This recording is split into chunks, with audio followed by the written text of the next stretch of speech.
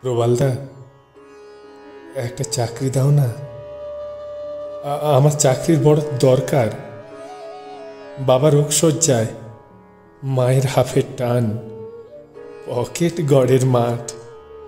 নেই, কিচ্ছু নেই। তোমার তো এখন অনেক ক্ষমতা। সরকারের শীর্ষ পদে তোমার অধিষ্ঠান।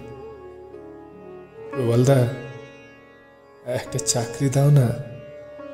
আমার চাকরির বড় দরকার। তোমার সাথে তোমার হাতে জীবনের প্রতিটি পদক্ষেপ, কখনো মিছিলে পা মিলিয়ে মুষ্টিবদ্ধ হাতে সংগ্রামী স্লোগান। মিছিলের অগ্রভাগে হেঁটেছি কত, মুখে গেয়েছি তোমার জয়গান। প্রবালদা একটা চাকরি দাও না। আমার চাকরির বড় দরকার।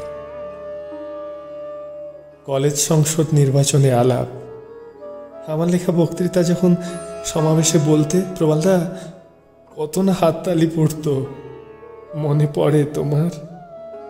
পিঠ চাপড়ে বলতে, সাবাস সাবাস। আজ তুমি ক্ষমতার শীর্ষে। প্রবালদা আমার একটা চাকরি দাও না। আমার চাকরির বড় দরকার। এতদিন বাবার খেয়ে তোমার ডাকে ছুটে যেতাম যেখানে সেখানে। রাত জেগে কত কর্মসূচি সাজাতে আমাকে নিয়ে। আজ বাবার অবসর। বাবা মৃত্যু সজ্জায় মায়ের হাফের টান। বাবার প্রফিডেন্টের টাকায় টান ধরেছে। তোমার সাথে চলতে চলতে বয়সটা কখন যে চল্লিশের কোটা পেরিয়েছে, বুঝতে পারিনি প্রবালদা। তুমি আজ ক্ষমতার শীর্ষে। তুমি আজ কত দূরে। ব্যবধান বেড়েছে কত। তোমার আমার দূরত্ব শত যোজন, অথচ অথচ একটা সময় তোমার আমাকে না হলে চলতোই না।